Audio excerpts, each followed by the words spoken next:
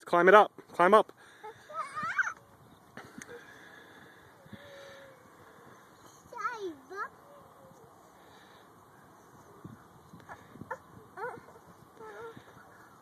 You can do it.